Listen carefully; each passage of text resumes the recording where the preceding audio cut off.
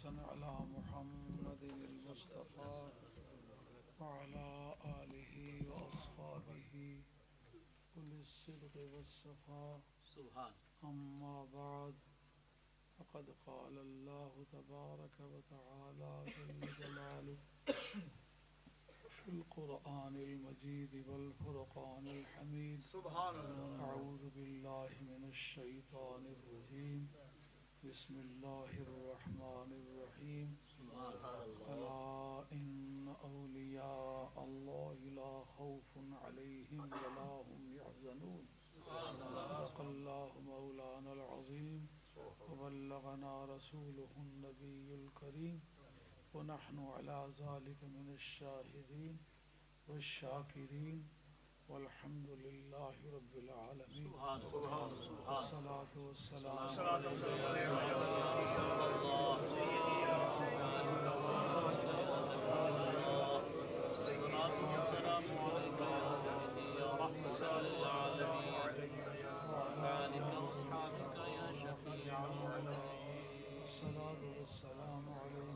والسلام عليك يا سيدي يا رسول الله وعلى آلك واجب الاحترام علماء کرام، پیران طریقت، شرفاء اور معززین، یہ آل سنت والجماعت کا اجتماع ہے۔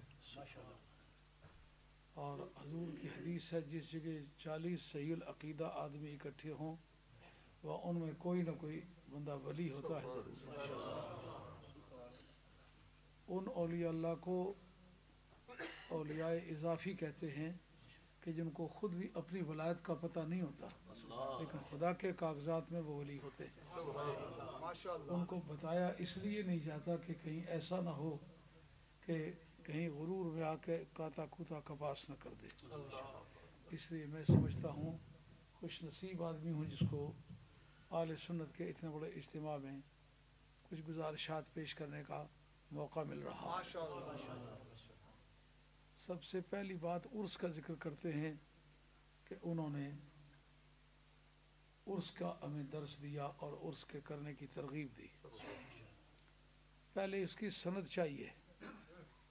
ہمارے فقہا نے جو اس کی سند پیش کی ہے عرس کی جی۔ وہ شہدائے احد کے مزارات پر سرکار کی سالانہ حاضری ہے۔ اور یہ بخاری میں موجود ہے کتب سیاہ کے اندر یہ حدیث موجود ہے کہ جس دن صحابہ کرام کی شہادتیں عمل میں آئی تھیں جنگ اخد کے شہداء ستر و یک وقت شہید ہوئے تھے۔ ان کے الگ الگ مزار نہیں بن سکے تھے بلکہ ایک ایک مزار میں کئی کئی بزرگوں کو دفن کیا گیا تھا۔ اور اکٹھے رکھ کے ان کے جنازے پڑے گئے تھے۔ اور اسی پر آج تک فقہ کا عمل درآمد چلا آ رہا ہے۔ اگر ایک وقت میں بہت سارے جنازے ہو جائیں میت ہو جائیں تو ان کا اکٹھا جنازہ پڑھا جا سکتا ہے۔ اور ان کو اکٹھا دفن کیا جا سکتا ہے۔ ایک ایک قبر میں کئی کئی میتوں کو دفن کیا جا سکتا ہے۔ یہ ساری اس بات کی سندیں ہیں۔ جی۔ لیکن بخاری شریف کے اندر ایک ایسا مسئلہ اس جگہ درج ہے جس کا عمل درآمد جس پر آل سنت نے کیا باقی قوموں نے نہیں کیا۔ یہ دعویٰ کرنے والے کہ سنیوں کی نماز کے کوئی بھی اعمال جو ہیں وہ کسی حدیث سے ثابت نہیں۔ اچھا وہ ان ان چیزوں کا انکار کرتے ہیں جو حدیث سے ثابت ہیں بے شک بے شک بے شک اور ایک بات یہ ہے کہ سرکار نے دفن کرنے کے وقت فرمایا، جس صحابی کو قرآن مجید زیادہ یاد ہے، اس کو قبلے کی طرف آگے کر کے دفن کرو۔ کیوں بھائی؟ اس کے سینے میں قرآن ہے۔ اگر موت سے حقائق باطل ہو جاتے ہوں، تو قرآن مجید کا یاد ہونا ایک حقیقت ہے۔ اگر مرنے سے حقیقتیں باطل ہوتی ہوں تو جو مر گیا ہے اس کے سینے کے قرآن کی کوئی حیثیت نہیں رہی۔ لیکن سرکار نے بتایا کہ موتوں سے حقیقتیں باطل نہیں ہوتی حقیقتیں قائم رہتی۔ اس لیے اس کو دفن کرتے وقت قبلے کی طرف آگے کر کے دفن کرو کہ اس کی طرف پشت کسی کی نہ ہو۔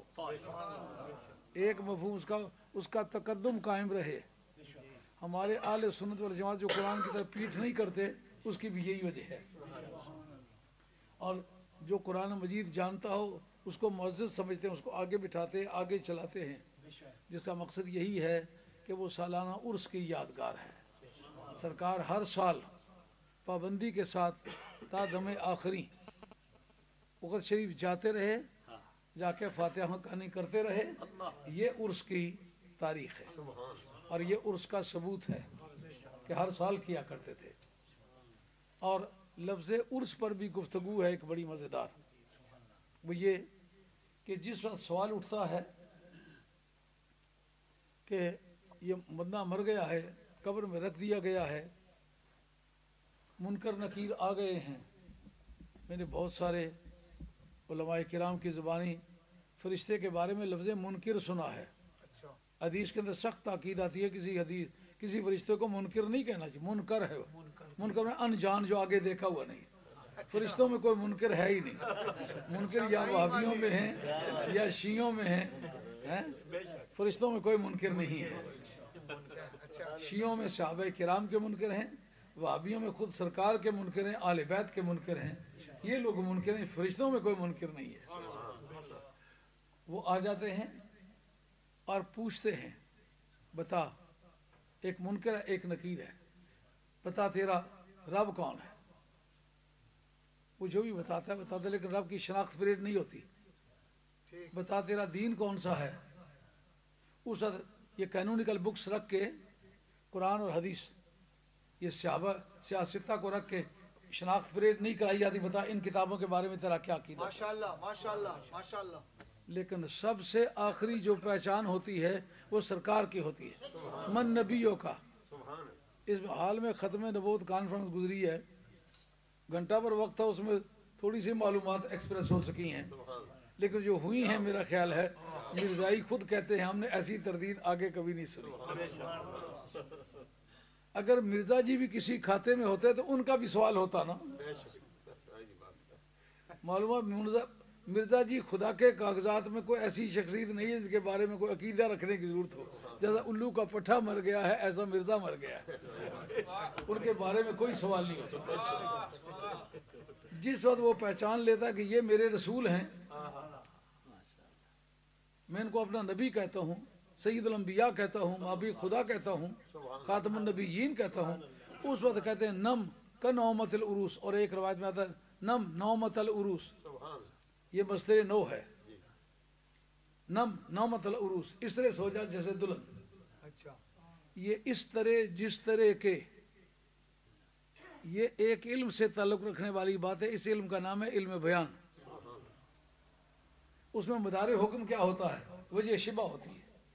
وجہ شبہ مدار حکم ہے۔ تھوڑی سی مشکل بات ہے۔ لیکن میں مقرر بعد میں ہوں میں مدرس پہلے ہوں۔ جس چیز کو تشبیح دیتے ہیں، اس کو کہتے ہیں مشبہ۔ جس کے ساتھ تشبیح دیتے ہیں، اس کو کہتے ہیں مشبہ بھی۔ یہ جس صفت میں دونوں کا اشتراک ہوتا ہے مابل اشتراک، جس کو کہتے ہیں، یا جامع کہتے ہیں، اس کو کہتے ہیں وجہ وجہ شبہ۔ مطلب کہتے ہیں کہ اس کا قد سرو کی مانند ہے۔ وجہ شبہ لمبائی اور سیدھائی ہے۔ لیکن چاند سے تشبیح دیتے وقت یہ وجہ نہیں ہوگی، اس کی وجہ حسن ہوگی۔ اس کا چہرہ چاند کی مانند ہے۔ اس کا یہ مطلب نہیں وہ لمبائی اور سیدھائی میں تشبیح دی ہے، اس میں تشبیح دی ہے۔ اس جگہ وجہ شبہ کیا ہے؟ وہ مدار حکم ہے۔ بات خیال میں آ رہی ہے؟ کافی توجہ سے سنیں گے تو بات سمجھ میں آئے گی۔ وجہ شبہ کیا ہے؟ کا دلہن کو یہ خطرہ نہیں ہوتا میری ساس آئے گی۔ ساس عقل رکھتی ہے۔ اسے پتہ نو بیاتی دلہن پتہ نہیں خامد کے ساتھ کس حالت میں ہو۔ سسر اندر نہیں آتا۔ ماں اندر نہیں آتی۔ باپ اندر نہیں آتا دیور اندر نہیں آتے نندے اندر نہیں آتی کیوں نہیں آتی؟ کہ اس وقت ان کی پرائیویسی کا ٹائم ہے بیوی اور میاں اکٹھے ہیں۔ اب اگر آئے تو اس تیرے کمرے میں تیرا میاں ہی آئے اور کوئی نہیں آئے گا۔ اس کا مطلب یہ ہے کہ سرکار نے یہ بتلایا میں آخری نبی ہوں۔ اگر میرے بعد کوئی اور ہوتا تو وہ بھی آتا لیکن اب میں ہی آیا ہوں اور کوئی نہیں آ سکتا۔ تو قیامت تک آرام سے سو جاؤ۔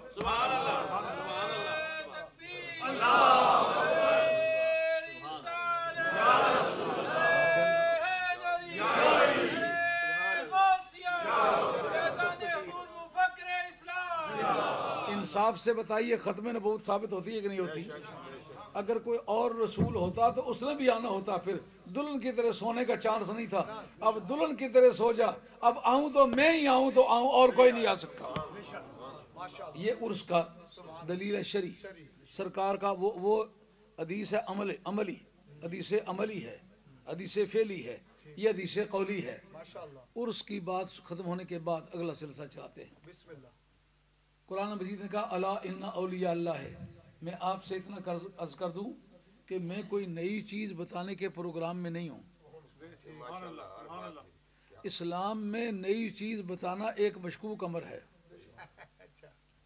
ہمارے علم المسترق کے ماہرین نے کہا ہے کہ اگر مسلم و بخاری دونوں نہ بھی ہوتے تو بھی اسلام زندہ رہتا۔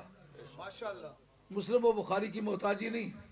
ان دونوں کی حدیثوں کو معتبر اس لیے مانتے ہیں کہ وہ انہوں نے بھی نقل کی ہیں جو ان سے پہلے کے لوگ تھے انہوں نے بھی نقل کی ہیں۔ اور اس دور کے جو باقی لوگ ہیں انہوں نے بھی نقل کی ہیں۔ اگر یہ ساری تائیدیں نہ مل جائیں تو نہ مسلم کی حدیث قابل قبول ہے نہ بخاری کی حدیث میں وہی بات کہوں گا جو مولوی غلام جیلانی صاحب نے فرمائی ہے جو مولانا عبدالطیف صاحب نے فرمائی ہے جو دوسرے آپ کے علماء نے بیان فرمائی ہے۔ یہ اس بات کا ثبوت ہوگا کہ یہ کوئی واقعی سچ مجھ کوئی بات ہے۔ اگر کوئی ایسی بات بتاؤں جو ان میں سے کسی نے بھی نہ کبھی بتائی ہو، اس کا قرآن و حدیث میں ریکارڈ نہ ملے، تو پھر اس کو معتبر سمجھنے میں دقت ہوگی۔ وہی باتیں بتاؤں گا جو ان سب نے بتلائی ہوئی ہیں۔ یہ اس بات کا ثبوت ہوگا کہ میری تائید دوسرے لوگوں نے بھی کی ہوئی ہے۔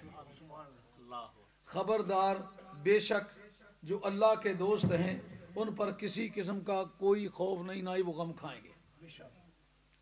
یہ بات کس سے ثابت ہوتی ہے؟ تناقض سے ثابت ہوتی ہے۔ اچھا جو جی۔ آپ کا استنتاج بدی ہی ہے نا۔ دوستی اور اس کے مقابلے میں خوف اس میں تناقض بنتا ہے۔ جہاں دوستی ہوگی وہاں خوف نہیں ہوگا۔ جہاں خوف پایا جائے گا وہاں دوستی نہیں تسلیم ہوگی۔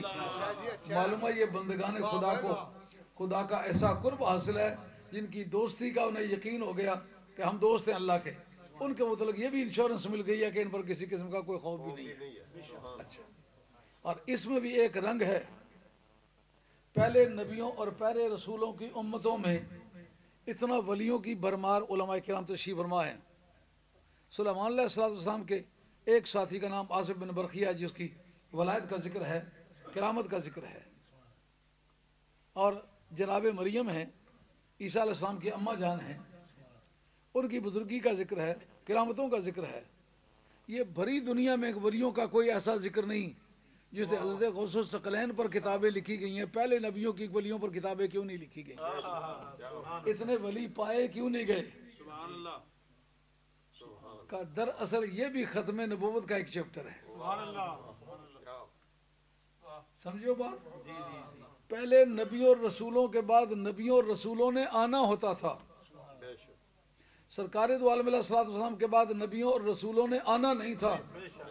تو ان کی ریپلیسمنٹ کے طور پر ولیوں کو بھیجا گیا کہ ولیوں تم نبیوں والا کام اس پر ریاض النظرہ، سید محب الدین تبری، جن کا سن وفات چھ سو چورانوے، اور مکہ شریف کے امام تھے شافیوں کی طرف سے۔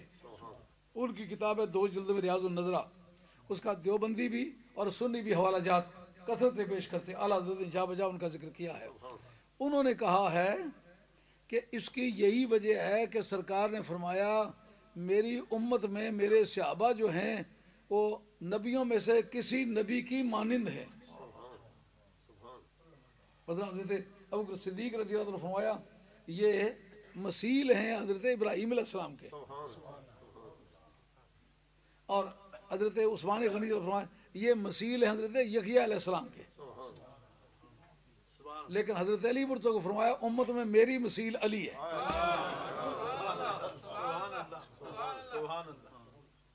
اب اس کا کیا مقصد ہے؟ اس کا مقصد یہ کہ بھری دنیا میں ہر ہر نبی نے اور ہر ہر رسول نے اپنی امت کو تبلیغ کی تھی اور ان کی تبلیغی ضرورت کو انہوں نے پورا کیا تھا۔ اب اگر اتنا بڑا جال بچھا ہوا ہے، جہاں تک کا رب رب ہے، وہاں تک کا میں رسول ہوں۔ بڑی مدت کی بات ہے، شاید آپ کو یاد ہو۔ ایک مرتبہ بنی پر جلسہ ہوا تھا۔ میں ویرو کی بن پنڈی میں۔ تو میں نے عمار صلی اللہ کا اللہ رحمۃ اللہ عالمین پر تقریر کرتے ہوئے یہ کہا تھا کہ اللہ کریم نے اپنے دامن ربوبیت کو سرکار کے دامن رحمت سے وابستہ کر کے پھیلا دیا۔ جہاں تک میری ربوبیت کا دامن جائے، وہاں تک تیرے رحمت کا دامن جائے۔ کائنات میں تو بھی بسے، کائنات میں میں بھی بسوں، لیکن میں رب ہو کر موجود رہوں، تو رسول ہو کر، رحمت ہو کر کے موجود ہوں اس وقت ایک مولوی بڑے تلخ قسم کے دیوبندی تھے۔ اٹھ کے نیچے بیٹھ گئے۔ ان کا، پھر تو ہمیں کرسی پر نہیں بیٹھنا چاہیے، اگر سرکار بھی یہاں حاضر ناظر ہیں تو۔ میں نے کہا، نیلے، نیچے نالیوں میں گھس کر کے بیٹھو، کیونکہ رب بھی تو موجود ہے نا۔ رب کا بھی تو ادب چاہیے۔ وہ سخت گھبرائے تھے۔ تو اللہ کریم نے دیکھا کہ سارے نبیوں اور سارے رسولوں کو اپنی اپنی امتوں، اپنی اپنی قوموں کی طرف بھیجا۔ تو جتنی کلاس بڑی ہو جائے، اتنا سبق بمباسٹک ہو جاتا ہے، مشکل ہو جاتا ہے۔ آپ کے مسجدوں کے مولوی نہیں کہتے، طالب علم زیادہ ہو گئے، کوئی اور بھی بدنس رکھو۔ اتنوں کو میں اکیلا ڈیل نہیں کر سکتا۔ تو جس وقت طالب علموں کی سینٹریس بڑھے، تو پھر اس وقت ٹیچروں کی تعداد بھی بڑھتی ہے۔ کہا کل کائنات میں جتنے بھی انسانی پیداوار تھی پہلے یہ بتا رہا تھا ان اوسا بے نصیب ابن ہی فنصیب وسیعت ہو باطلۃ فن اوسا بے بسل نصیب ابن ہی فوسیت ہو نافذہ۔ اگر کسی نے مرتے وقت یہ کہا میرے بیٹے کا حصہ فلاں کو دے دینا۔ یہ وسیعت اس کی باطل ہے۔ کیوں؟ کہ کل جائیداد کا تیسرا حصہ اس کے بارے میں وصیت کر سکتا ہے۔ بیٹے کے حصے کے بارے میں وصیت نہیں کر سکتا بگانے مال کے بارے میں وسیعت کرنے کا کوئی رائٹ لیکن کہا میرے بیٹے کے حصے کی مانند کی مثل۔ تم فلاں کو دے یہ وسیعت نافذ ہے۔ کیوں نافذ ہے بھائی؟ کہا کہ مثل شے غیر شے ہوا کرتی ہے۔ سرکار کے بارے میں کہنا کہ وہ تمہاری مثل ہے معلومہ تم اور ہو، وہ اور ہے۔ تمہاری اور ان کے درمیان کوئی اشتراک نہیں ہے۔ سمجھے بات؟ مماثلت شے اس وقت ہوتی ہے دو چیزوں میں اتحاد لازم آ جائے مماثلت بنا ہو جاتی ہے۔ بند یہ کہنا درست ہوگا یہ سرو تو سرو کی مانند ہے؟ کہنا درست ہوگا؟ یہ چاند تو خاص چاند کی مانند ہے۔ جن کی ذاتوں میں وادت پائی جائے ان میں مماثلت بنا ہو جاتی ہے۔ اگر تم اور مصطفیٰ ایک ہی ہوتے تو مماثلت منع ہوتی معلومات تم اور ہو وہ اور ہے۔ سمجھو بات؟ کیا عرض کر رہا تھا؟ بات یہ عرض کر رہا تھا کہ آپ کو پوری توجہ دینی پڑے گی۔ اس جگہ بحث ہے سارے گزشتہ نبیوں کی، امتوں کی۔ ان کی تعداد کتنی تھی؟ وہ نبی اور رسول کتنی تعداد میں تھے؟ یہ انسانیت کا رائٹ ہے کہ جو پہلے لوگوں کو حقوق اللہ نے دیے ہیں، وہ اس امت کو بھی دے۔ کہا، نبی تو آخری نبی ہے، اس کے بعد نبی کوئی نہیں آئے گا۔ تیرے امت کے ولیوں کے ذریعے سے ہم نبیوں والی ضرورت پوری کریں گے۔ آگے بات خیر چیز اور یہی وجہ ہے کہ پہلی امتوں میں مولانا یہ بات یادگاری آپ نے ذہن میں رکھنی ہے کہ ان کی آسمانی کتاب اس پر تو عمل ہوتا تھا، ان کی زبانی تعلیمات پر عمل ہوتا تھا، لیکن ان کے پاس پاور آف لیجسلیشن نہیں ہوتی تھی، جس کو اجماع امت کہتے ہیں نا، یہ اس امت کی خصوصیت ہے۔ کبھی اصول فقہ آپ زیادہ گہرائی تک مطالعہ کریں تو آپ کو یہ پتہ چلے گا اجماع اس امت کے خصوصیات میں سے ہے۔ اور کبھی کثرت کو اجوا سے تعبیر کرنا یہ منصفانہ عمل نہیں ہے۔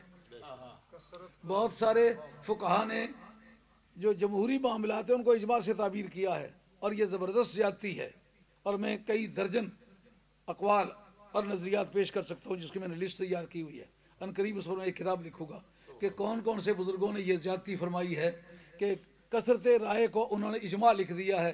اجماع کی تعریف میں وہ کبھی آتے ہی نہیں ہے اس امت کے خصوصیات میں سے اجماع، جس کو انگریزی میں آپ کہیں consensus of competent Muslim scholar of the age ہر دور کے وہ علماء ربانی جو اصول تقنین جانتے ہیں یعنی جن کے ذریعے سے قرآن و حدیث سے قانون بنایا جا سکتا ہے، ان پر قدرت رکھتے ہیں۔ جس آیت پر چاہیں وہ ان کو پیش کر سکتے ہیں، جس حدیث پر چاہیں اس کو اپلائی کر سکتے ہیں۔ ایسے سارے آدمی اکٹھے ہو جائیں اور بول کے کہیں جناب یہ بات ٹھیک ہے جو آپ نے کہی ہے۔ اس کو کہتے اجماع نسی تام۔ ان سب نے اجماع کیا ہے اور مکمل کیا ہے اور بول کے کیا ہے۔ وہ حدیث میں وہ ہمارے اسلام میں ایسا قانون ہے کہ اس کا منکر کافر ہے۔ آئی بات سمجھ میں؟ جی۔ مجھے یہ جان کے بڑی حیرت ہوئی کہ حضرت ملا علی قاری نے ایک جگہ حضرت صدیق رضی اللہ تعالیٰ کے بارے میں ان کی افضلیت پر اجماع ذکر کیا کہ ابو منصور بغدادی نے اجماع نقل کیا۔ خود بعد میں تردید کر دی۔ ان کا انہوں نے کثرت رائے کو یہ جو کتاب ان کی شرف اکبر اس کے اندر موجود ہے۔ کثرت رائے کو انہوں نے اجماع لکھ دیا ہے۔ لیکن لطف کی بات یہ کہ انہوں نے سرکار کے متعلق فرمایا سرکار کی افضلیت سارے نبیوں میں یہ امر زنی ہے۔ اچھا۔ ہاں۔ سرکار کی افضلیت پر اجماع نہ ہو تو حضرت بکر صدیق رضی اللہ تعالیٰ کی افضلیت پر اجماع ہو جائے۔ ہے عقل کا ماتم کے نہیں؟ اجماع ایک ایسی بحث ہے جو امت میں سرکار چھوڑ کے چلے کہ میں جا رہا ہوں دنیا سے، میرے بعد یہ زمرہ ہے اولیاء اللہ۔ وہ علماء ربانی جو عقائد سیاح اور اعمال صالحہ رکھتے ہیں، ان کا نام اولیاء اللہ ہی کے زمرے میں لیا جائے گا۔ اسی لیے جس وقت کہا جاتا ہے ہاتھ چومنا جائز ہے اور پاؤں چومنا جائز ہے، متقی کا۔ اس وقت مراد اولیاء اللہ ہیں۔ وہ علماء باطل جو باطل جو اپنے آپ کو سرکار جیسا کہتے ہیں، ان کو تو دیکھ کے منہ پہ تھوکنا چاہیے۔ چے جائے کہ ان سے ان سے کوئی، ان کے ہاتھ چومے۔ ہیں سرکار یہ کہ جوتے جیسا کسی کا منہ نہیں ہو سکتا، تو سرکار جیسا کون ہو سکتا ہے؟ سمجھ گئے؟ نبیوں میں کوئی ایسا بتاؤ جس نے سرکار کو کہا ہو، میں نبی جیسا ہوں۔ میں اس جیسا ہوں۔ معراج کی رات ایک پرکھنے کا وقت ہے کہ نہیں؟ تو آپ کی طبیعت ذرا حاضری چاہیے۔ آپ نے فرسودہ ہو کر متبزل ہو کر پرانا ہو کر میری باتیں نہیں چاہیے۔ جرت کے ساتھ طبیعت کی حاضری کے ساتھ باتیں سننی ہے ایک لاکھ چوبیس ہزار سے کم و بیش۔ جس وقت امامت کا وقت آیا یہ فیصلہ کرنے کی تو ضرور ضرورت پیش آئی ہوگی نا کہ ان میں سب سے اچھا جو ہے وہ آگے کھڑا ہو۔ سرکار کا فرمانا انا امام المرسلین ولا فخرا میں رسولوں کا امام ہوں، پر اس پر میں فخر نہیں کرتا۔ اس پر ملا علی خانی نے بڑی ایک ذوق آفرین بات لکھی ہے۔ انہوں نے کہا، جو مردے زندہ کرنے والا وہ پیچھے کھڑا ہے، آپ آگے کھڑے، بات فخر والی تو ہے، کرتے کیوں نہیں؟ جنہیں لاٹھی مار کے سمندر کو پھاڑ دیا، وہ پیچھے کھڑا، آپ آگے کھڑے، بات فخر والی تو ہے، پر کرتے کیوں نہیں؟ جو مردے زندہ کرتا ہے، وہ پیچھے کھڑا ہے، آپ آگے کھڑے، بات فخر والی تو ہے، کرتے کیوں نہیں؟ جنہیں ٹھوکر مار کے نار کو گلزار کر دیا، وہ پیچھے کھڑا ہے، آپ آگے کھڑے بات فخر والی تو ہے، کرتے کیوں نہیں؟ جس کے سامنے فرشتوں نے سجدہ کیا، وہ پیچھے کھڑا ہے، آپ آگے کھڑے ہیں، بات فخر والی تو ہے، کرتے کیوں نہیں؟ ملا علی قاری نے بڑی دلچسپ بات اس موقع میں لکھی ہے۔ ان کا یہ بتانا مراد ہے کہ رسولوں کا امام بن جانا، یہ میرے لیے مقام فخر نہیں ہے، یہ رسولوں کے لیے مقام فخر ہے کہ میرے جیسا امام بنا گئے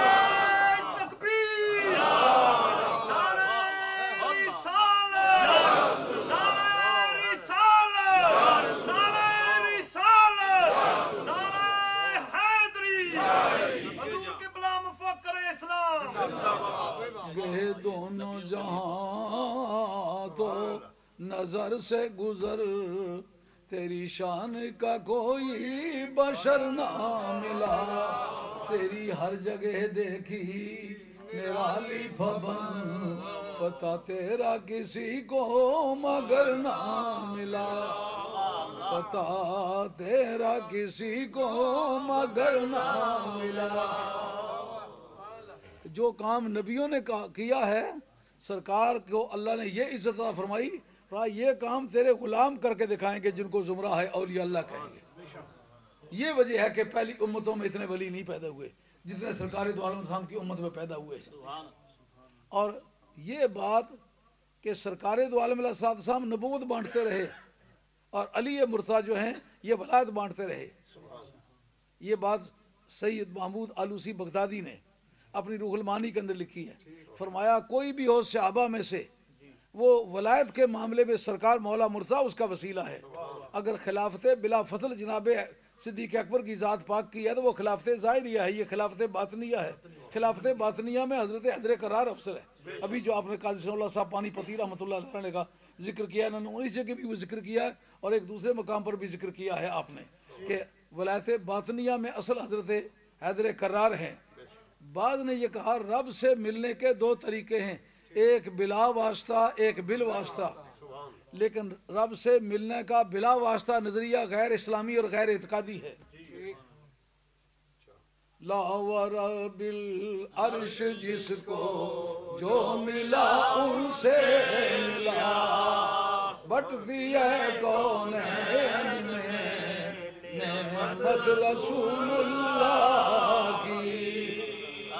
جو توسل کے ذریعے سے ملتا ہے، وہ حضرت والی بغداد سے شروع ہوتا ہے اصل و حسین تک جاتا ہے، مولا مرتضیٰ تک جاتا ہے، خاتون جنت بھی شامل نہ ہو تو اس کو ولایت نہیں ملتی۔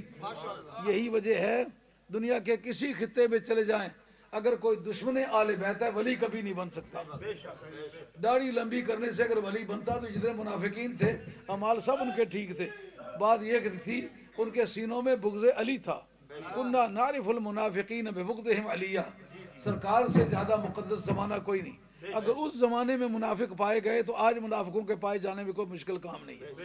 ہاں؟ تو جتنے زمرہ ہے اولیاء اللہ ہیں، ان کو آپ مطالعہ کر کے دیکھیں۔ خاندان نقشبندیہ عالیہ میں حضرت جامی رحمۃ اللہ علیہ فرماتے ہیں بسد کو صفا گشت بیچارہ جامی۔ بسد کو صفا گشت بیچارہ جامی۔ غلام غلامان آل محمد، غلام غلامان آل محمد۔ ویسے جامی کو لوگ سمجھتے ہیں جامی جامی ہے۔ کیوں مولانا؟ جس کو جامی نہ آتی ہے اس کو نہ بھی مان لیں گے آپ؟ اس کو نہ بھی ماننا مشکل ہے۔ آپ کا صاحبزادہ ضیاء الدین کسی کے پاس پڑھنے گیا۔ تو جامی رحمۃ اللہ کی شاعری مشہور تھی، جیسے میاں صاحب کی شاعری مشہور ہے۔ تو لوگ سمجھتے ہیں شاید میاں صاحب شاعری گزرے ہیں جیسے سعدی کی شاعری مشہور ہے۔ سعدی اپنے وقت میں وزیر تعلیم رہے ہیں۔ اور جو جامعہ جامعہ نظامیہ بغداد ہے، اس یونیورسٹی میں بطور پروفیسر کے بھی کام کیا آپ نے۔ مراد نظامیہ ادرار بود تعلیم تکرار اوراد بود آپ نے کہا میری وہاں تنخواہ مجھے ملا کرتی تھی، میں وہاں پڑھایا کرتا تھا۔ ہاں۔ انہوں نے باقاعدہ وزارت بھی کی اور سلسلہ عالیہ سلسلہ عالیہ سور وردیہ کے شاگرد ہیں۔ اور سلسلہ عالیہ سور وردیہ کی چند باتیں لکھی جو سن کے آدمی حیران ہوتا ہے۔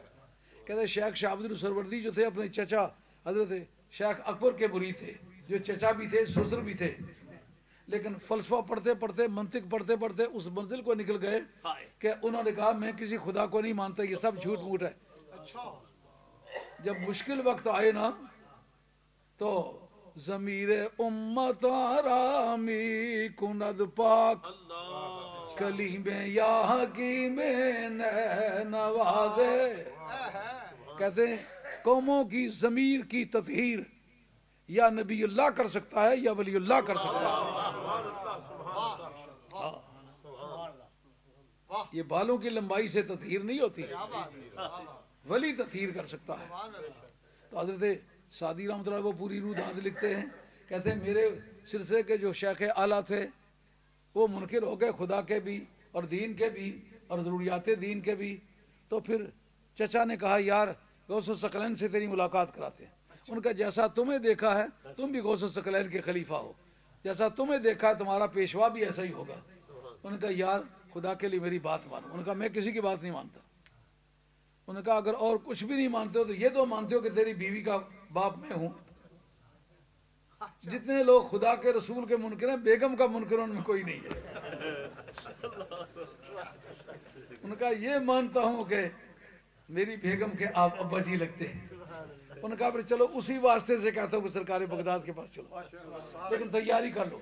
چار پانچ گدے اونٹ، گھوڑے تیار کیے، ان پر کتابیں لا دی فلیگنگ کی، کئی مہینے تیاری کی۔ تیاری کے بعد حضرت غوث ثقلین رضی اللہ تعالیٰ عنہ کی بارگاہ میں جانے لگے۔ حضرت غوث ثقلین کے بعد جا کے انہوں نے دروازہ کھٹکھٹایا۔ حضرت غوث ثقلین فرماتے ہیں، تم باہر ہی بیٹھ جاؤ، اس کو اندر بھیج دو۔ ان کا نہیں، حضور مجھے بھی آنے دے، میں یہ تماشا دیکھنا چاہتا ہوں۔ اندر آ گئے۔ حضرت غوث ثقلین نے اندر بلا کے پوچھا، اور تیرا نام کیا ہے؟ کہا جی نام تو کوئی یاد نہیں۔ اور کس قوم کے آدمی ہو؟ کہا جی کوئی پتہ نہیں۔ کہا، کس کام کے لیے آئے ہو؟ کہا، کوئی پتہ نہیں۔ کہا، یہ بار گدے اونٹ گھوڑے جو لادے ہوئے ہیں، یہ کس لیے لادے ہو؟ کہا، کوئی پتہ نہیں۔ کہا، بات تو کرو، تم دو مہینے ہوئے تیاری کرتے ہوئے۔ اب وقت آیا تو بات کیوں نہیں کرتے ہو؟ انہوں نے کہا، نہ علماں وچ فسا سان کوئی یار دی گل سنا سان ਉਥੇ ਇਲਮ ਦਾ ਸਿੱਕਾ ਨਹੀਂ ਚੱਲਦਾ ਜਿੱਥੇ ਇਸ਼ਕੀ ਰਾਹ ਦਾ ਡੇਰਾ ਹੈ ਅੱਲਾ ਅੱਲਾ وہاں سے واپس آئے، سب کتابیں لے کے قبرستان میں دفن کر دی۔ ان کا جو غوث نے کتاب پڑھائی ہے، وہ کاغذوں کے ذریعے سے نہیں ہے، وہ اور ہے۔ اس کے بعد شاہ شاہبدین سروردی برتوے کو پہنچے۔ ان کے شاگرد تھے، مرید تھے حضرت سادی اور اسی طریقے سے حضرت شامی رحمۃ اللہ علیہ وہ کس قدر تعریف کرتے ہیں؟ بسد کو صفا گشت بیچارہ جامی غلام غلامان آل محمد۔ ان کا بیٹا ضیاء الدین کسی مولوی صاحب سے پڑھنے گیا۔ اچھا۔ انہوں نے کہا وہ کہاں سے آئے ہو؟ ان کا جام سے آیا ہو۔ کہا کس کے کچھ لگتے ہو؟ ان کا ملا نور الدین عبد الرحمن جامی کا بیٹا ہوں۔ انہوں نے کہا وہ جو شعر شاعری کرتا ہے شاعر ہے؟ بڑی حکارت سے کہا۔ اس کو بڑا گرام گزرا۔ اس نے کہا، جا، پڑھنے کے لیے دوبارہ آؤں گا، اس وقت مجھے اجازت دے دی واپس آئے۔ واپس آ کے ابا جی سے ذکر کیا۔ آپ نے کافیہ کی شرح لکھی۔ اس وقت کافیہ سب سے مشکل کتاب کافیہ تھی۔ وہ کافیہ کی شرح لکھی اور بھیجا۔ کہا، جا کے اس مولوی کو بتلاؤ۔ اس مولوی نے جب پڑھا، انہوں نے کہا، یہ سے تو پہلی سطر ہی مجھے سمجھ میں نہیں آئی۔ جامی صاحب رحمۃ اللہ کے پاس واپس لائی گئی وہ کتاب۔ اس کی تسہیل کی پھر بھیجی کہ اب پڑھ کے دیتے ہو تیسری مرتبہ جب اسے آسان کیا تو وہ پڑھتے ہیں تو مولوی مولوی بنتے ہیں۔ یہ جامی وہ آدمی ہے۔ ہاں؟ جامی کہتا ہے یا رسول اللہ صلی اللہ علیہ وسلم میں بری نازم کے ہستم امت تو۔ گنے گاروں والے کن خوش نصیب ہم یہ اجتماعی زدین ہے۔ کہتے ہیں میں گنہ گار بھی ہوں خوش نصیب بھی ہوں۔ گنہ گار کے ساتھ خوش نصیبی کا یہ امتزاج یہ یہ اختراع ہے جامی کی۔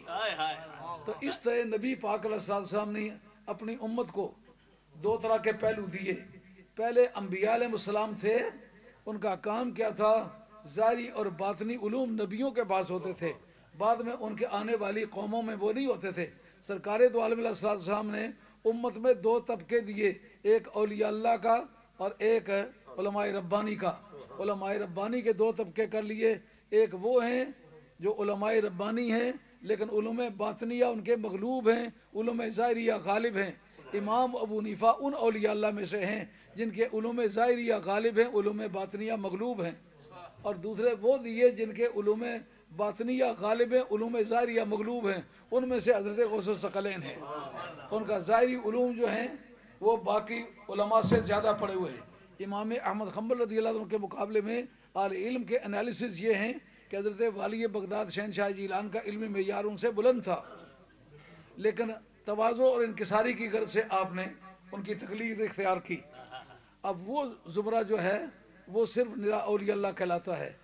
علماء ربانی جتنے بھی ہیں، ان کے پاس علوم ظاہریہ بھی ہیں، علوم باطنیہ بھی ہیں۔ جیسے امام شافی ہیں، ان کے پاس علوم ظاہریہ بھی ہیں اور باطنیہ بھی۔ علامت کیا ہے؟ ان کا نارف رفدن حب آل محمدی۔ فلیشہد آنے انی رافدو فرماتے ہیں کہ جو آل بیت رسول صلی اللہ علیہ وسلم ہیں، ان کے متعلق بغداد کے کوٹ میں وہ پیش ہوئے، ان سے کہا گیا کہ یہ آپ اپنا عقیدہ بدلیں۔ ہر وقت آپ آل بیت آل بیت آل بیت کا ذکر کرتے ہیں اور کسی کا ذکر نہیں کرتے۔ آپ پانچوں نمازوں میں اللہ مسلی اللہ محمد والا آل محمد میں کرتا ہوں یہ سارا عالم اسلام کرتا ہے؟ کا یہ کثرت کی تعلیم خود اسلام نے دی ہے۔ ان کا اس سے مراد کل تقین نقین بابا علی حضرت امام شافی رحمۃ اللہ علیہ فرمانے لگے، سرکار دو عالم علیہ السلام کا ارشاد ہے نغن آل بیتن فلاح یحل صدقہ ہم جو آل بیت ہیں، ہمارے لیے صدقہ حرام ہے۔ پوری امت میں سے کسی کے لیے صدقہ حرام نہیں سوائے اولاد فاطمہ کے۔ اگر ہر متقی اہل بیت ہوتا، آل ہوتا، تو ہر متقی کے لیے صدقہ حرام ہوتا۔ کسی متقی کے لیے صدقہ حرام نہیں ہے۔ معلوم اولاد فاطمہ ہی اہل بیت آل محمد ہے۔ اس لیے میں ان کا، یہ جو قرآن میں نماز کے اندر آتا ہے نا اللہ صلی اللہ محمد والا، آل محمد اس دلیل سے میں کہتا ہوں کہ غزل کے ساتھ ذکر کرنا ایک مسلمان کی شان ہے۔ ہر مسلمان دنیا کے کسی خطے میں بھی نماز پڑھے پانچوں نمازوں کے اندر دروز شریف کثرت کے ساتھ پڑھتا ہے کہ نہیں؟ اور پوری امت کا پورے صحابہ کا پورے اولیاء اللہ کا پورے عالم اسلام کا ذکر نہیں آتا۔ ان کا ذکر نام لے کے آتا ہے۔ امام راضی نے ایک بڑی دلچسپ بات کہی آپ سے پوچھا گیا بتائیے نماز جس کا نام ہے آپ کے نزدیک اس کی حقیقت کیا ہے؟ آپ نے فرمایا، جو میں سمجھا وہ یہ ہے، یا نبی پاک علیہ السلام کے جو ابے ہیں ان کا ذکر ہے، یا نبی پاک کے جو بیٹے ہیں ان کا ذکر ہے، یا نبی کی ذات کا ذکر ہے۔ پوچھا، ثبوت کہاں ہے؟ ان کا اللہ مسلی علی محمد سرکار کی ذات کا ذکر ہے۔ والا آل محمد سرکار کی اولاد کا ذکر ہے۔ کما صلی تھا اللہ ابراہیم، سرکار کے باپوں کا ذکر ہے۔ راضی فرماتے ہیں یا باپوں کا ذکر ہے یا اولادوں کا ذکر ہے یا سرکار کی ذات کا ذکر ہے۔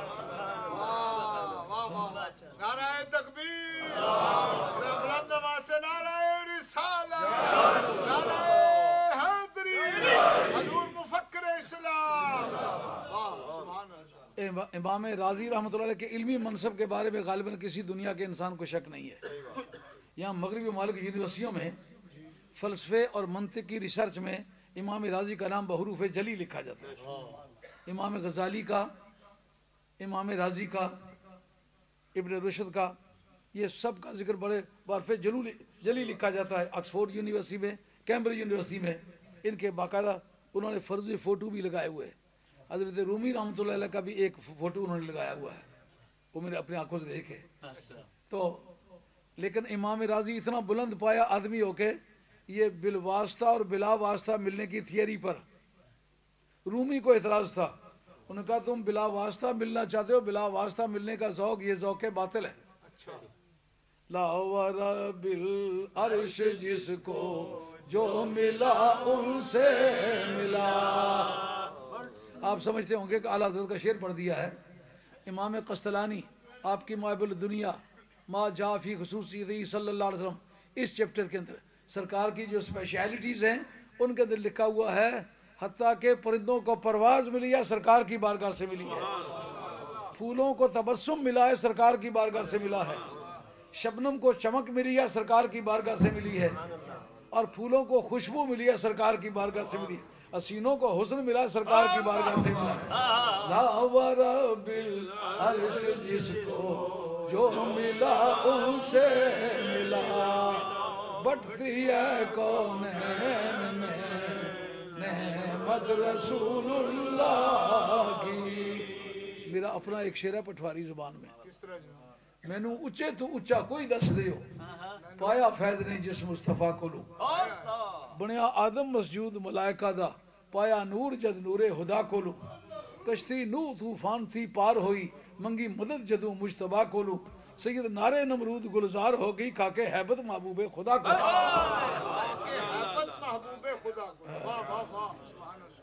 یہ سلسلہ ولایت سب سے پہلے درجے کے ولی جو ہیں صحابہ کرام ہیں۔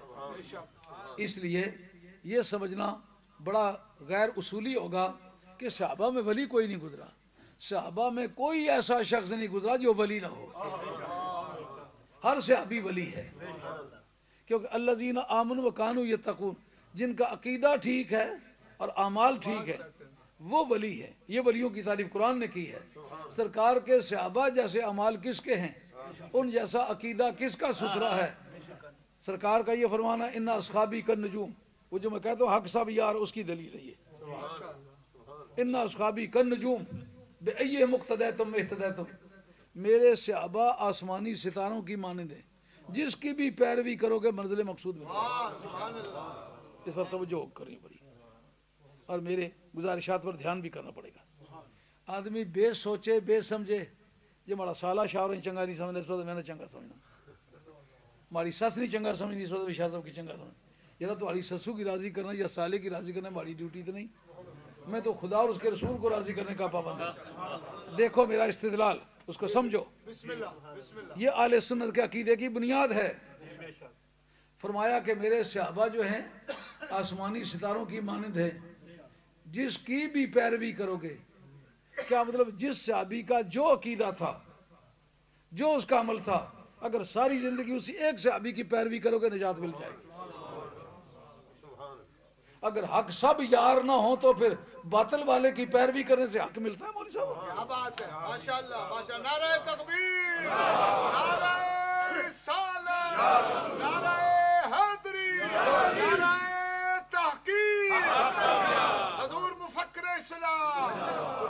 تو پہلے اولیاء اللہ صحابہ کرام ہیں۔ جو پہلی کلاس فیل ہو گئی تو بعد میں آنے والوں کو کیا امید ہو سکتی ہم پاس ہیں؟ سمجھ آئی بات؟ یہ بات تو قیدی ستاروں کی بانند ہیں۔ علم بیان کی بحث تو ختم ہو گئی۔ یہ جو آگے کہا بے مقتدیتم اعتدیتم یہ مثال کے علاوہ ہے۔ جس کی بھی پیروی کرو گے بیڑا پار ہو جائے گا۔ اس کا کیا نام ہے؟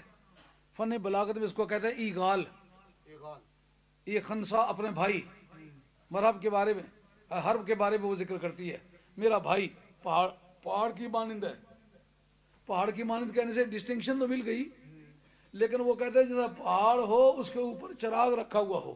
اچھا۔ یہ ایغال ہے۔ اچھا۔ سرکار نے ایغال کیوں کیا؟ بات سمجھ آ رہی ہے کہ نہیں آ رہی؟ یہ بھی علم ہے۔ اس کا نام ہے علم بلاغت۔ اس کے اندر یہ بحث ہے تشبیح جس وقت ختم ہوتی ہے، اس کے اوپر امتیاز کے لیے کوئی کلمات لگائے جاتے ہیں، ان کا نام کیا ہوتا ہے؟ ان کا نام ہوتا ہے ایغال۔ ایغال سے مراد ہے کیا؟ سمجھنا ہوگا۔ سرکار کی، سرکار ایغال کریں تو پھر بات تو سمجھنی پڑے گی کہ کیوں کیا ہے۔ جب کہا کہ میرے صحابہ آسمانی ستاروں کی مانند ہیں، ان کی ڈسٹنکشن تو سمجھ آ گئی ہے۔ آسمانی ستارے ممتاز نہیں ہیں؟ لیکن ان ستاروں میں کچھ ستارے کے علم رکھنے والے، علم نجوم رکھنے والے یہ ستارے سعد ہیں، یہ ستارے منحوس ہیں۔ سرکار نے یہ بتلانا چاہا، میرا کوئی سے ابھی منحوس نہیں ہے، سارے حق ہیں، حق سب یار، یہ اس کا ثبوت ہے۔ اور علم المسترق خطیب بغدادی، آپ کی کتاب الکفایہ فی علم روایا صحابی کی جس جگہ تعریف آتی ہے، آج ہی آپ نکال کے دیکھیں۔ اس جگہ اس کا ایک آئینی معنی ہے۔ ایک ڈیفینیشن کا یہ کام کرتا ہے۔ یہ کیوں کہا کہ کوئی بھی صحابی جو ہے، سب کو حق ماننا پڑے گا۔ یہ ساری آیتیں جو ہیں والذین ماؤ شدہ الکفار کا یہ سب صحابہ کی تعریف ہے۔ رضی اللہ عنہ وردوان یہ سب صحابہ کی تعریف ہے۔ کہتے ہیں یہ صحابی کے نام کے ساتھ یہ بحث کیوں آتی ہے؟ کہتے حدیثوں میں جتنی جرا صحابہ صحابہ کے بارے میں عقیدہ یہ ہے ہر صحابی حق ہے۔ جتنے جھگڑے ہوئے جتنے فساد ہوئے اس سے صحابی کے درجے سے گرا کوئی نہیں۔ اگر صحابی کے درجے سے گرا کوئی نہیں صحابی بھی ہو حق پر بھی نہ ہو یہ کس کتاب نے لکھا ہے؟ جو صحابی ہے وہ حق ہے۔ اس جگہ جو حوالہ پیش کرنے لگا تھا اس علم کا نام ہے علم المصطلح۔ یعنی جو علم حدیث کو ڈیل کرتا ہے کہ کس جگہ حدیث آ جائے تو کیسے اس کو آپ ڈیل کریں گے؟ اس میں بحث ہے، راوی روایت کرے۔ کس پر بحث کر سکتے ہیں، کس پر جرا کر سکتے ہیں، کس پر نہیں کر سکتے۔ آپ جرا کر سکتے ہیں، کس پر نہیں کر سکتے۔ کہا، سیابی سے نیچے جرا کر سکتے ہیں۔ جن آنکھوں نے چہرہ مصطفیٰ کو پیار سے دیکھا ہے، اس راوی کی روایت پر جرا نہیں کر سکتے۔ کہہ سکتے فلاں راوی جھوٹا ہے، فلاں بدکار ہے۔ فلاں گنہگار ہے، فلاں کا حافظہ ٹھیک نہیں ہے، یہ جھوٹ کہتا ہے، لیکن شعبی سرکار کے بارے میں روایت کرے، آپ اس پر جرا نہیں کر سکتے۔ کیوں؟ حق سب یار، یہ مانا ہے اس کا۔ سمجھے بات؟ الکفایا فی علم روایا پہلے ولی جو ہیں وہ صحابہ ہیں۔ اور آل بیت جو ہیں تمام امت میں ولایت بانٹنے والے ہیں۔ پہلے حضرت مولا برسا نے بانٹی ہے۔ یہ ایک تو قاضی صلی اللہ پانی پتی رحمۃ اللہ علیہ، یہ مرزا مظہر جان جانا رحمۃ اللہ علیہ کے خلیفہ ہیں۔ شاہ ولی اللہ صاحب محدود دلوی کے شاگرد ہیں۔ اور تین واسطوں سے یہ حضرت امام ربانی مجدد افسانی شیخ خام سراندی رحمۃ اللہ تعالی کے مرید ہیں۔ نقشبندی حیثیت سے بات کرتے ہیں۔ اور سید محمود علوسی بغدادی، یہ مرید شیخ خالد کردی کے، شیخ خالد کردی رحمۃ اللہ علیہ مرید ہیں، حضرت امام ربانی مجد رفسانی شیخ خام سراندی کے۔ وہ بھی نقش بندی ہیں، یہ بھی نقش بندی ہے وہ کہتے ہیں ولایت میں اصل جو ہیں، وہ حضرت مولا مرتضیٰ ہیں۔ ان کے بعد ان کے صاحبزادے امام حسن، ان کے بعد امام حسین، ان کے بعد آپ کے آئمہ آل بیت۔ اعلیٰ حضرت فاضل بریلوی رحمۃ اللہ فرمایا کہ یہ جو آئمہ آل بیت ہیں، یہ خلافت باطنیہ کے امام ہیں۔ یہ جو اسلام کا سٹرکچر ہے، اس کی حفاظت کرنے والے ہیں۔ یہ سارے اپنے وقت کے اکتاب گزرے ہیں۔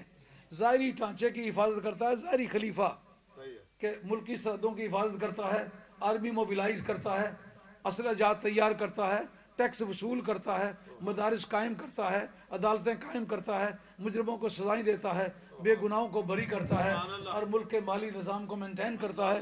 یہ ظاہری خلیفہ کا کام ہے۔ باطنی خلیفہ کا کام یہ ہے وہ اسلام کی باطنی حیثیت کو محفوظ رکھتا ہے۔ اسی وجہ سے وہ کہتے ہیں جب کوئی پکارے کہتے ہیں یا علی مدد کو پہنچیے۔ جو باطن کے سلسلے کے نگہبان ہے ان کو بلاتا ہے۔ کسی ظاہر کے نگہبان کو نہیں بلاتا۔ ہیں؟ نعرہ حیدری۔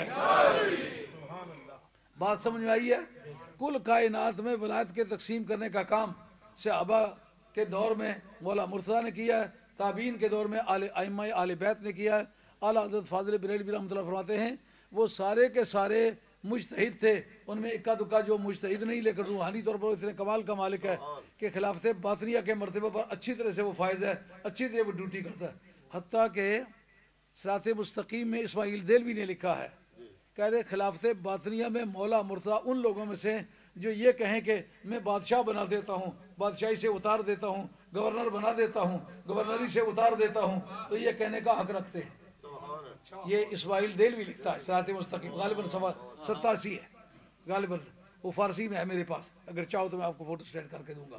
وہ یہ مانتا ہے کہ کائنات میں جو تصرف مافوق الاسباب ہے، وہ کرنے کا کام امت محمدیہ میں اولیاء اللہ نے کیا ہے۔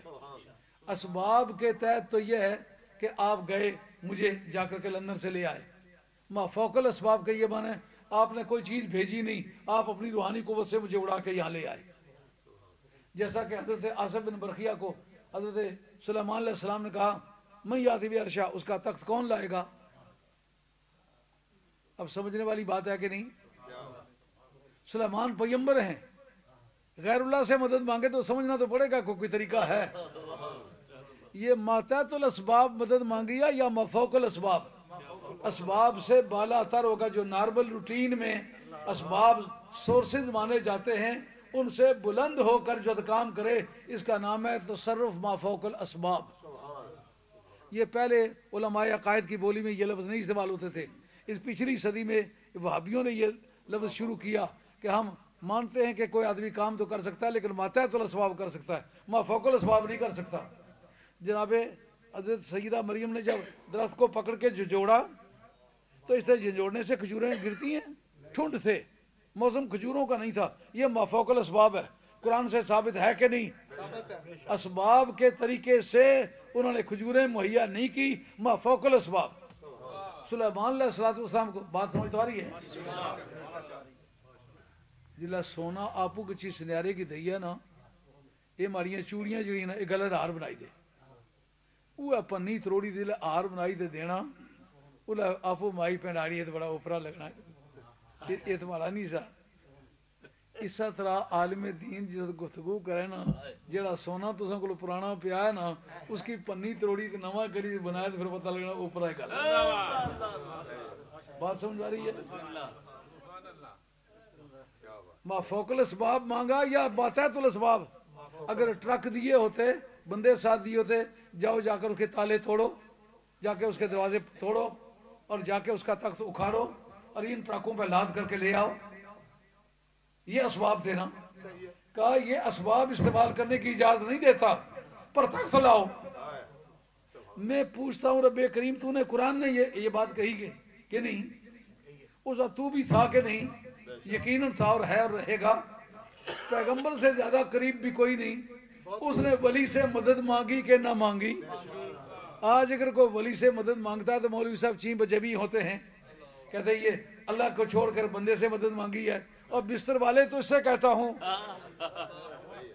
مدد مانگی کہ نہیں مانگی؟ ہمیں چھوڑ دے۔ کرامات الاولیاء اشرف علی تھانوی صاحب کے لیے۔ غالباً کرامت نمبر پانچ ہے۔ اس کے اندر شیخ محمد نامی ایک آدمی وہ کہتے ہیں ہم لوگ جا رہے تھے حج پر کوئی مکہ شریف سے دو سو میل کی دوری جدے سے دو سو میل کی دوری پر تیل ختم ہو گیا۔ اب ہمارا جہاز ڈوبنے پر آ گیا۔ کوئی بچت کی صورت نہ ہو۔ اس وقت ایک آدمی حاجی امداد اللہ صاحب کا خلیفہ تھا، وہ بیٹھا ہوا تھا جہاز میں، اس نے اسے مراقبہ کیا، رابطہ کیا حاجی امداد اللہ صاحب سے اور حاجی زامن صاحب سے کہ اب تو ہم ڈوبنے لگے۔ تو حاجی امداد اللہ صاحب نے اور حافظ زامن صاحب نے دونوں نے آ کر کشتی کو کندھا دیا۔ اور غوث پاک نے تو بارہ برس کی ڈوبی ہوئی کشتی کو تیرایا۔ کشتی ایک ہے، مولوی صاحب دو ہیں، یہ مولویوں کی ولایت ہے نا۔ کیا کون ہے اشرف علی تھانوی؟ جن کی امت کے لوگ منع کرتے ہیں۔ میں یہ پوچھتا ان ساری باتوں کو اکٹھا کرو نتیجہ کیا نکلتا ہے؟ اگر نبی غیر اللہ سے مدد مانگے اور مافوق الاسباب مانے قرآن اس کو بیان کرے اور اس کو مدح کے انداز میں بیان کرے تنقید کے انداز میں بیان نہ کرے اس کی مذمت نہ کرے تو مذمت نہ کرنا یہ تائید ہے کہ نہیں؟ ہے اعتبار نہیں رہتا واہ واہ۔ کہتے جب وہاں کشتی پہنچی تو اس آدمی نے اس وقت وقت نوٹ کر لیا، تاریخ نوٹ کر لی۔ جب واپس آیا تو بجائے گھر جانے کے بھون چلا گیا۔ اور جا کر کے بتایا کہ اس اس طریقے سے میں نے ان کی کہ میں نے کرامت دیکھی ہے۔ ان دونوں کو کشتی اٹھاتے ہوئے دیکھا ہے اور کشتی کنارے پر لگاتے ہوئے دیکھا ہے۔ اس وقت وہاں جو آدمی خادم تھا، اس نے کہا، میں نے دیکھا دونوں بزرگ اس وقت باہر نکلے۔ تو انہوں نے سمندر کے پانی سے اپنی دھوتیوں کو نچوڑا اور باقاعدہ سمندر کے پانی کی مہک آ رہی تھی، بو آ رہی تھی۔ اس کے بعد وہ لنگیاں دی مجھے، میں نے وہ تار پہ ڈال دی سوکھنے کے لیے۔ یار، ایک مولوی صاحب اتنی دوری پر جا کے آگے سے پکڑے، ایک پیچھے سے پکڑے اور غوث پاک، تجھ پر قربان۔ کہ دریائے دجلہ جو ہے، وہ اس جگہ آ کے دو دریا آ کے مل جاتے ہیں۔ اس دریائے دجلہ سے بارہ برس کی کشتی ڈوبی ہوئی۔ ہے بارہ برساں دا ڈوبیا تار بیڑا مولا کا رنج نہیں کیتا دل جانیاں۔ ہمارے پٹواری کا ایک شاعر ہے۔ وہ سرکار بغداد اللہ کی تعریف کرتا ہے۔ یار ہر زبان کے شاعر اپنا میرے ذوق کی بات کرتے ہیں۔ کہتے کمبے ازنی دا لفظ کہہ کے میرا پھیر کیتا زندہ فانیاں نو زندہ فانیاں کمبے حضرت عیسیٰ علیہ السلام کہتے کمبے ازن اللہ۔ ہو سکلانی جو مردے زندہ کیا کمبے ازنی کمبے ازنی دا لفظ کہہ کے میرا پھیر کیتا زندہ فانیاں نو بارہ برساں دا ڈبیا تھار بیڑا مولا رنج نہیں کیتا دل جانیاں نو ہاں مزہ آیا کہ نہ آیا مولا رنج نہیں کیتا دل جانیاں واہ غوثے پاک باجو خانہ کون موڑے وگیاں لوہے محفوظ دیاں کانیاں اب جناب یہ بات ثابت ہوئی کہ نہ ہوئی یہاں سے وہ کوئی راڈار لے کر کے گئے یا کوئی ہیلی کاپٹر لے کر کے گئے جہاں سے ان آدمیوں کو اٹھا کے لائے۔ ان کی کشتی سمندر میں جا کے مولویوں نے اٹھائی سمندر کے کنارے پر جا کے چھوڑی۔ مفوق الاسباب ہے کہ نہیں؟ اور حضرت سلیمان علیہ السلام والسلام نے ان سے کہا کہ نہیں کہا کہ کون کون وہ اس کا تخت بلکیس لائے گا؟ انہوں نے یہ نہیں کہا انشاءاللہ لاؤں گا۔ مولانا قال الذی اندہ علم من الکتاب وہ شخص بول اٹھا جس کے پاس تھوڑا سا علم کتاب تھا۔ خدمت ہے؟ بسم اللہ۔ کہ اس جگہ قرآن نے کیا؟ قال الذی اندہ علم من الکتاب۔ وہ بول اٹھا جس کے پاس کتاب کا کچھ علم تھا۔ فإن ترتب الحکم الوصف یشرب علیت ہی لہو ایک ہے وصف نبیوں کے نزدیک۔ اس میں فائل اس میں مفول صفت مشبہ سیگا مبالغہ اس میں تفصیل۔ یہ نبیوں کا مذہب ہے۔ اصولیوں کے نزدیک غیر ذات کے لیے وصف کا لفظ استعمال ہوتا ہے۔ کہا اندہ علم من الکتاب یہ وصف تھا۔ یہ ایک پہچان تھی اس پہچان سے وہ پہچانے جاتے تھے آصف بن برقیہ۔ ان کا نام نہیں لیا۔ اگر آصف بن برقیہ کہتے تو ذات مراد ہوتی۔ اندہ علم من الکتاب۔ کتاب کا تھوڑا سا علم تھا۔ اس تھوڑے سے علم کی برکت سے امام مقیدین بن عربی رحمۃ اللہ علیہ آتا بھی عرشا ای اے دامن و ایجادن وہاں سے تخت مٹایا بھی یہاں سے تخت بنایا بھی۔ اچھا۔ ہیں یہ کام نبیوں اور امتوں نے مل کے کیا نا، مٹانا بھی اور بنانا بھی۔ امام ربانی مجد رفسانی شیخ احمد سندی ان کے صاحبزادے معصوم بادشاہ کے استاد ملا طاہر لاہوری، وہ پڑھا رہے ہیں۔ آپ نے ایک نگاہ بھر کے دیکھا، ان کے پیشانی میں شکی لکھا ہوا ہے۔ لوگ محفوظ پر دیکھا، وہاں بھی شکی لکھا، بدبخت۔ بیٹے پر نگاہ ڈالی، ان کے حجابات اٹھ گئے۔ استاد کی پیشانی پر بھی شکی لکھا ہوا دیکھ لیا، لوہے محفوظ پر بھی دیکھ لیا۔ انہوں نے کہا، ابا جی میرا استاد ہو، پھر بدبخت ہو، آپ کی بھی مجددیت اس کس کام کی ہے، ہمت کریں۔ اس وقت امام ربانی مجد الفسانی شیخ احمد ساندی فرماتے ہیں، مجھے والی والی بغداد کا یہ قول یاد آیا۔ انی ارد القضاء آباد ما ابرم، جب تقدیر اٹل ہو جاتی ہے تو میں بدل لیتا ہوں۔ مٹانا اور بنانا، یہ سابقہ نبیوں اور امتوں نے کیا۔ میرے تمہیدی مقدمہ کیا تھا میرے بیان کا؟ کہ جو سابقہ نبیوں نے کام کیے ہیں وہ سرکار کے بعد سرکار کے امت کے ولیوں نے کیے ہیں۔ اس طرح وہ ریپلیسمنٹ پوری دنیا کی جو ہے وہ ولیوں کے ذریعے سے مہیا کی گئی۔ بات سمجھ آ گئی ہے؟ تقریر کا معنی یہ ہوتا ہے کہ بیان کرنے والے کو یہ پتہ یاد ہو میں نے پہلا سینٹنس کیا بولا ہے آخری سینٹنس کیا بولا ہے۔ اس کا نام ہے صنعت برات استعلال۔ اس کے اٹھان میں پتہ چلے یہ آئندہ کیا کہنا چاہتا ہے۔ اور آخر میں اس کا نام ہے اس نے ختام۔ تو اس بات کو یاد دلائے میں نے بات چھیڑی کہاں سے تھی ختم آ کے کہاں ہوتی ہے اس جگہ حضرت نبی کریم روف الرحیم صلی اللہ علیہ وسلم کی امت کو یہ مرتبہ عطا فرمایا یہ کیا مقام بتایا کہ یہ وصف ہے اندہ علم من الکتاب تو امت محمدیہ کے جتنے اولیاء اللہ ہیں ان کے پاس ام الکتاب کا علم ہے علم من الکتاب نہیں ہے اگر علم من الکتاب من تبیزیہ ہے تھوڑا سا کتاب کا علم تھا تو کئی سو برس کئی ہزار میل کی دوری سے تخت مٹایا بھی، یہاں سے بنایا بھی۔ نہ یہاں سے غائب ہوئے، نہ وہاں گئے۔ یہاں بیٹھے بیٹھے اس کو مٹایا بھی، یہاں بنایا بھی۔ امام ربانی مجد الفسانی رحمۃ اللہ سرحد میں بیٹھ کے ایک آدمی کے چہرے پر سے بدبختی کا لفظ مٹایا بھی اور سعید کا لفظ لکھایا بھی۔ یہاں بیٹھے بیٹھے اور کہا کہ سرکار بغداد رضی اللہ تعالیٰ نے اپنے بارگاہ میں ایک بدبخت کو بٹھا کے کہا اے مولا کریم جب تک اس کی شکاوت دور کر کے سعادت کی بور اس کو نہ عطا کرے میں راضی نہیں ہوں گا. بندہ رب کو چیلنج کرے میں راضی نہیں ہوں گا۔ ہاں؟ اللہ بارہ برساں دا ڈبیا تھار بیڑا مولا رنج نہیں کیتا دل جانیا معلوم ہوا کہ نبی کریم علیہ والسلام کی ذات بابرکات کے جو اولیاء اللہ ہیں یہ سارے نبیوں کی ریپلیسمنٹ ہیں۔ ان کو پھر پاور آف لیجسلیشن اس طرح دی جس طرح نبیوں کو دی تھی، اجماع کے ذریعے سے۔ اجماع بھی ختم نبوت کی دلیل ہے۔ اگر سرکار کے بعد کسی نئی نبی نے آنا ہوتا تو اجماع کا سسٹم جاری نہ کیا جاتا۔ یہ تھا آج کا بیان۔ بیان میں اختصار اور سادگی ملحوظ رکھی ہے۔ بڑی مشکل سے جانے واقعہ محفوظ رکھی ہے۔ وما علینا الا البلاغ المبین۔ وآخر دعوانا ان الحمد للہ رب العالمین۔ الصلاة والسلام علی رسول الکریم۔ الحمد للہ رب العالمین۔ برحمتک سبحان اللہ۔